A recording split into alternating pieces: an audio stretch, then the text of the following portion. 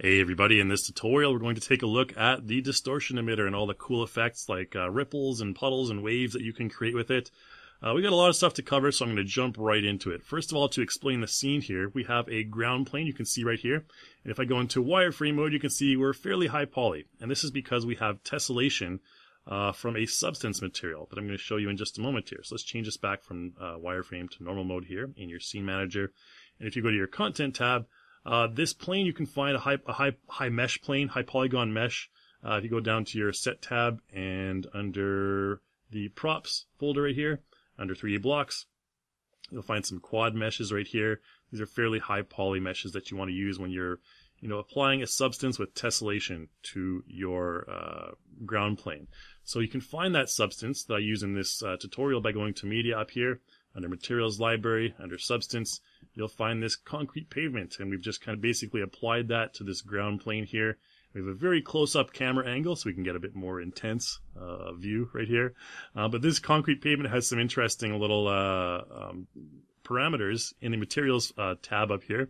If you go to materials, you can see we've changed the output size to 1024, so we get a kind of a higher resolution going on here. And we have a tessellation level of 10, which is good. We also have the multiplier level, which we can adjust and you can see we can raise or lower certain parts of the terrain. Okay, so multiplier is a very useful little uh, uh, parameter that you can use as part of tessellation on your substance materials. And we have other tutorials that explore more about that. But just so you know, uh, parts of this ground plane are now extruded using the uh, tessellation from the substance material. Okay, so let's go ahead and jump into it with our set tab here. I'm going to go back to my uh, main folder and to the particle folder and then into the Popcorn FX Super Tools. We're going to create our own distortion, our own little puddle here, our little ripples in the puddle. So I'm just going to go ahead and uh, bring my distortion emitter in. Okay, and let's make sure it's at a uh, height that's a little bit higher so we can actually see it above the ground plane there. Make sure the entire uh, dummy is visible because the distortion is going to emit from the bottom pivot point, uh, which is at the bottom of this dummy. Okay, and I'll talk more about that later. But let's let's take a look at the simulation. So I'm going to go ahead and simulate this by pressing Shift S or this button up here. And you can see we can move this around. It's just a big distortion field. Okay, you can bring it closer to you. And the thing about this is currently we have the align mode set to face camera. So no matter where I move it, it's always going to be a circular distortion facing the camera. So we can adjust that by going over to attributes here and down to, whoops, now our PopcornFX tab rather. And we want to go down to basic attributes down here and change the face cam align mode to horizontal. And it's going to emit in a horizontal fashion. We can move it all around like this. You can see, obviously, we don't want it to emit over the exposed stone here because stones really don't ripple in, nat- in their natural state. So what I'm going to do is I'm going to bring it uh, right to about where the stone is, and we're going to move our emitter down using this little doodad right here. We can actually just use the dummy on the screen. Take it further down, further down, until we see the stone stop rippling, which means that our dummy has gone down far enough. There we go. So about there maybe. Okay, so now it's only rippling the water and not rippling my dummy. Okay, maybe even a bit further down. Let's take it to maybe like uh, 12.5 or something. There we go. Okay. So we'll just leave it at that 12.5 on the z-axis there, which is the blue axis sticking up there. Okay, so that's your uh, basic ripple. So we've created a ripple. Hooray for us. Now let's mess around with the PopcornFX uh, parameters and attributes over here. So let's go to our PopcornFX tab. We have the emit rate. We're not going to worry about the quota right now. Let's change our emit rate to something like 3. So you can see we have a constant stream of distortion here. Okay? You know, maybe we want that, maybe we don't. Let's just leave it at 1 for now, okay? Because we're going to talk about uh, changing that a bit later. Now, the first thing I want to do as well before I move on is just press Shift S to end the simulation. And you can see in the particle section, our distortion uh, diffuse map is just a basic kind of jumble, like chaotic mess right here. What we want to do to create more of a ripple effect is we want to make something more uniform. So I'm going to double click on this channel right here and load up this normal map that I have uh, already saved. And this is going to be create a nice smooth ripple. So let's Shift S and simulate this. Now you can see we get that nice smooth ripple. It's fairly fast. Uh, we'd probably want to maybe extend this a little bit, slow it down. So what we can do is change our lifetime minimum and maximum to something like two. Okay. So then our ripples will kind of last on the screen for a bit longer. Um, and we maybe change our emit rate down to like, you know, whatever. But that's how you can do that. And you can also increase your global scale as well. So they can go further out like that. Okay. That's one way to do it.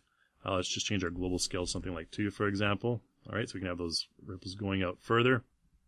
All right. But you can see, of course, they're ending at the area where our concrete comes above the, or our pebble stone comes around the, uh, comes above the water level rather. Okay. So we got that. We got the little, uh, all that stuff. Let's talk about how to create multiple uh, ripples, okay, or multiple uh, drops of water rain on our on our scene here.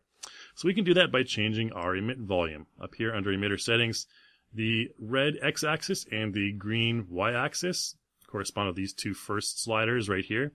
So if we change this to a value of 200, it's going to appear at random spots on the x-axis. You can see right there, and maybe 300 on the y-axis. Let's change them both to 300 actually. All right. And so now you can see those drops are appearing at random spots everywhere in our scene. We can change our emit rate to something like three, so we have, uh, you know, heavier rain. You know, the more, the higher we put the emit rate to like five or something, we'll have, uh, you know, further drops of rain. Maybe we can change it to something like 500. It seems to be the size of our scene there. Okay. There you go. So now you can see, you know, random ripples of water.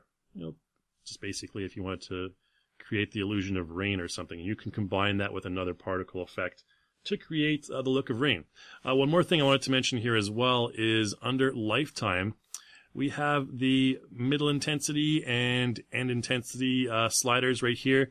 Middle intensity, if we take that down, you'll see that our intensity of the of the droplets gets a lot lower. We can increase that, and you'll create much more intense distortions. All right, so that's the main slider you want to look at in the lifetime section and you want them to fade out like this. So there you go. And of course, emit rate, you can adjust that as well. Okay, so that's basically it for creating, uh, you know, little ripples, uh, of, from raindrops or what have you. Let's just shift S to end that simulation. Now what I have loaded up here is another scene where I'm going to show you how to create a wave effect. And you can actually find this scene or something really similar to it if you go up to your uh, stage tab here and under 3D scene, under mesh medium, you'll find this flood map. It's very similar to the one I have on the screen right here and you can use that. Uh, so let's go ahead and get started. First of all, we're going to create a wave by just importing in again that same distortion emitter. Let's just stick her somewhere. Doesn't really matter where we stick it in the scene. Uh, we can to seed, of course. Okay, and this one we're going to have horizontal as well. Uh, the, the align mode we want to have horizontal. I have a little boat in the scene, which we'll, we'll use a little bit later, but let's just move uh, ahead of the boat for now so we can kind of see what we're doing here. And go to our PopcornFX tab, and we'll just leave the distortion map the, the same way it is. And what we're going to do is we're going to go ahead and simulate. Shift S to simulate. And again, basic attributes, face cam. We're going to change that to horizontal. Okay. Now this one is a little bit different because we're basically emitting on a water plane here. Let's make sure that that's a good level. I think that should be fine. And what we can do here is we want to change our quota and our emit rate. So our emit rate, we're going to make it like pump it up to like something like, uh, you know, 50 or whatever. Okay. So what's going to happen now is it's going to create kind of a steady, cool looking sci-fi emission like this, and we can bring that up and bring that down above below above the water. Okay, uh, something like this, and let's change our quota to something like uh, maybe 10. Okay, so then we can even you know. Uh, 10,000 rather, not 10. okay, so then uh, let's change our emit rate to 3,000 and the distortion becomes even more intense. So obviously what we need to do here is change our volume. Uh, okay, so our X and Y, X and Y volumes again. This time we're going to change them to 4,000. And create a line like that. 4,000 on the X axis as well. Cool. So we have these appearing appearance of, you know, random blue lit ripples. So we want to take away that the lighting, the blue lighting there, because uh, it kind of makes it look a little bit fake, like there's fireflies under the water or something like that. So what we're going to do is go down to our lifetime section down here under particle settings, change our tint opacity to 0.01, just barely noticeable. Okay, and then it seems, all right, seems like we have those, you know, steady ripples on the water. Bring the level up there a little bit. Okay, so what we can do here is we can actually change our direction. So if we go up to our uh, uh, emitter settings, let's change it to maybe on the y-axis, so facing down towards the bottom left of our scene at this moment. Let's just uh, give it a value like this, okay? So what you'll see is you'll see these distortions sort of, you know, moving towards that section. And we want to change our initial speed here as well. So if we change our initial speed, then you can see we create that. Um, that's probably too fast. That's like a super fast river there. We'll change that to something a little bit lower. But now you can see the ripples moving towards the point on our y-axis there. We can take it the other direction if we want. Reverse the flow of the water, just like that, okay? We can have them go that way as well. And of course, you can change stuff like the global scale, the uh, lifetime minimum maximum as well. A global scale will make it look a lot larger like that. You can also double click a parameter to reset it back to the default as well. Just double click the global scale back to 1. Tint opacity, uh, I'll just leave that at uh, 0.01 there. Okay, and uh, again, there's a middle intensity and all that other stuff as well. But that's how you can really, you know, create the appearance of, of ripples going a certain direction. Pump up that global scale a little bit. All right, and yeah, take down that initial speed. And still looks a little too fast for me. Let's make it seem a little bit more idyllic. Okay, so we got that those nice distortions going on like that. Let's go ahead and uh, take that stuff off now. I'm, I'm just going to make our uh, river here, whatever it is, our lake or flooded area. We're going to make it still. So we're just going to delete that emission or emitter there. And I'm going to show you how to create a wake effect behind the boat. So for this, I'm going to go to my content tab. We're going to go back to the particles main folder here, and we're going to use PopcornFX learning samples. You get this with your uh, from the content store. I'll provide a link in the description where you can uh, get this pack here. And there's some applications for the distortion emitter folder right here. And we're going to use this. Uh, you can find all the other stuff here as well, like the ripple single and everything that I just created. We're going to use this water wake. All right. Let's bring that bad boy in there and use the W hotkey to bring it up. And we're going to bring it somewhere over here. We're going to attach it to the boat momentarily, but I'm going to show you how this one's a little bit different first of all. So just take it right at the surface of the water, right there. Okay. Now let's press Shift S to simulate this one. And you can see that we need to probably uh, zoom in a little bit more so we can see it. Maybe even bring it a little bit higher. Okay, so this one you can see is distorting in a much different way. It's distorting kind of like almost in a linear fashion from the center. So we can go over to our PopcornFX tab here. And let's take a look at the particle uh, um, channels that we have here. So there's the distortion one. And you can see this diffuse map is very different. The uh, one we did for the ripple earlier was circular. And this one's, if I launch it into Photoshop, this one's going to be like a, a very linear normal map. And this one also has a tint map as well. I'll show you that in just a moment as we load up Photoshop here. Okay, so here's the uh, distortion map. You can see it's kind of in the shape of a wake. So this is emitting from the center in all directions. And our tint map right here, very similar, just black and white. Okay, so if I press Shift S one more time to simulate, let's simulate that one more time. The unique feature of the wake is that we have the mid height and mid width. So if I go over here to down here to lifetime, you can see there's middle intensity, like I mentioned before, but we also have middle width, height, and end width and height. And you can see that the middle width is 20 and height is 20 and the end is 50. Now, if I change the middle to something higher, like say middle width at 100, you can see it's emitting from, from here to here. It's a lot, it's stretched a lot further. Okay. And if we change our end width to zero, you can see it becomes even more triangular.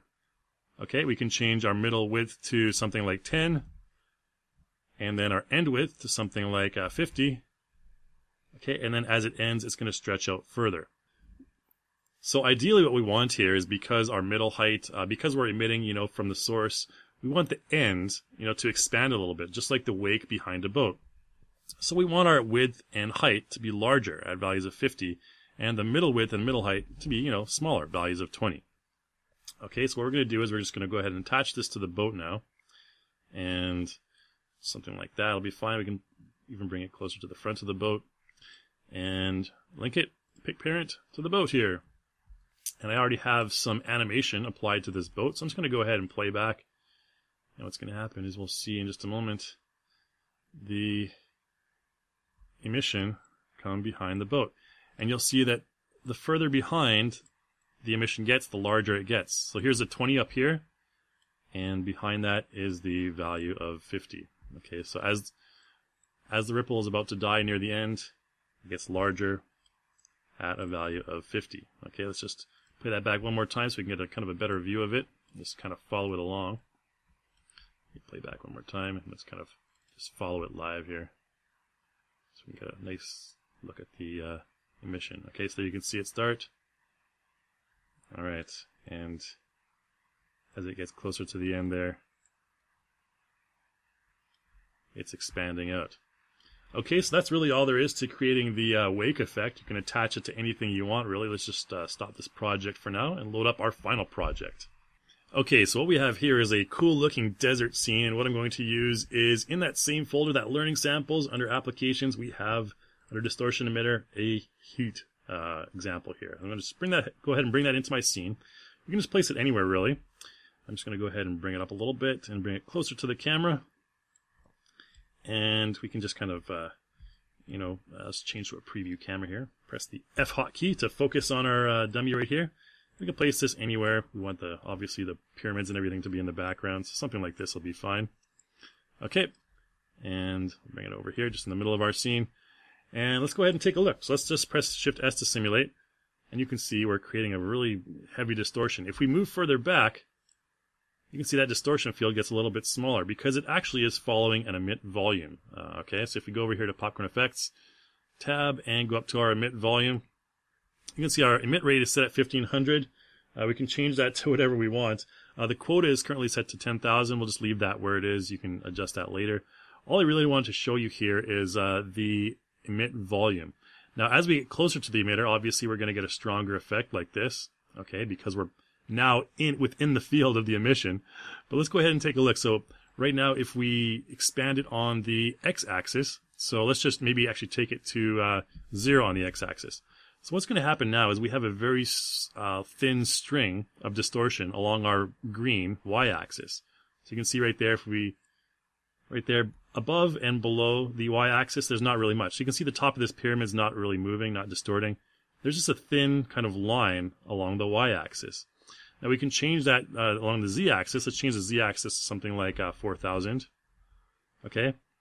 And when that happens, you'll see that, whoa, suddenly everything kind of stops emitting. we don't really have much going on there. And that's because what happens is, let's just change this down to like a more reasonable value, like a uh, 400 instead of 4,000. And once we have that, you'll see some of the emissions start to return. And that's because the higher your emission volume, you need to also make sure that you increase the emit rate. So if you have a larger area to cover, obviously you need more distortions to uh, make that appear, you know, the right way that you want it to. So let's go ahead right here, and you can see we're just emitting along the y-axis and the z-axis right here. If we go maybe to this value right here, we can increase the emit rate to something like uh, 3000, and we're going to get heavier distortions. They're more concentrated. If we change that to something like 6,000, or maximum value of 10,000, you'll see it'll get really distorted. Okay? And then if we take our uh, Z volume down to like zero, for example, it's going to get really distorted just along that one level right there. So uh, normally you wouldn't, if you wanted to create a more accurate heat wave, you'd want to really spread this out, maybe like 500 on the Z axis, okay? something like this, and your emit rate would probably be something closer to 5,000 as well. All right, and there you go, and then you can kind of slowly pan along. Maybe even our emit rate is too high, maybe even 2,000, just to get something a bit more subtle. Move along like this, and we're looking through the hot desert at this uh, the pyramids off in the distance. Okay, there you go. So that's how uh, when you use this heat uh, PopcornFX, you need to make sure that you have your emit volume set along the red axis, the green y axis, or the uh, blue z axis. X, Y, Z, RGB, the easiest way to remember it. Okay, so that's really about all I wanted to show you in this tutorial, guys. Uh, thank you again so much for watching. Make sure you check out our other uh, tutorials on PopcornFX and our forums at forum.reallusion.com. And I'll see you in the next video.